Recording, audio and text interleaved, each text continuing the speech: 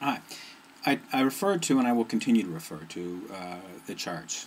Um, they were first shown to me by Martin Sage. They were, I amended some of them to fit my particular philosophical views on life.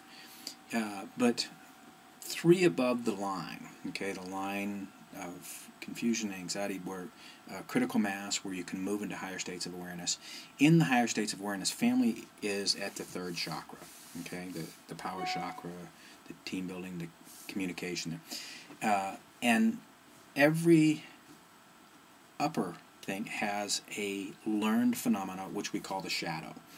And the shadow of fam- family is either familiarity or hatred.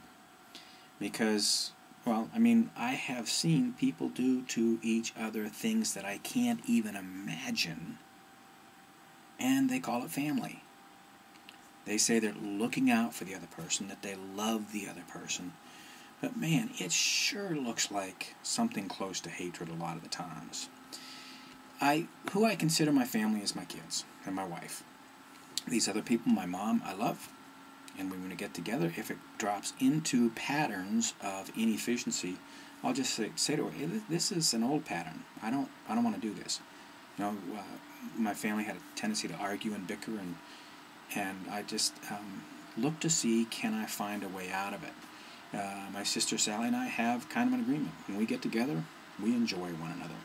We look out for one another. We have fun with one another.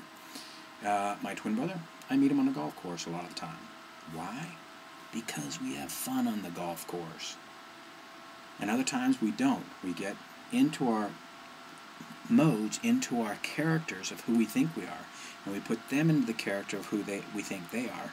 And then sometimes we can't get out of it. And if our characters were brought up not being respectful of the other person, then we go into those enculturated characters and it becomes less than efficient. In our house, my wife and I have an agreement. And we say, if you want to come to our house, make sure we have fun.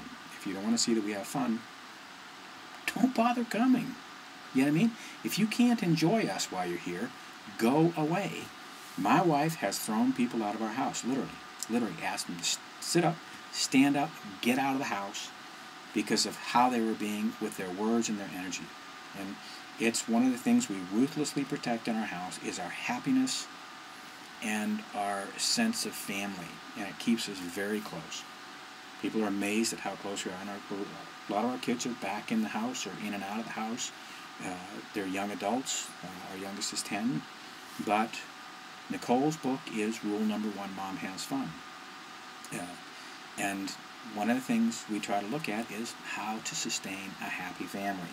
I think it was Confucius said if we can have peace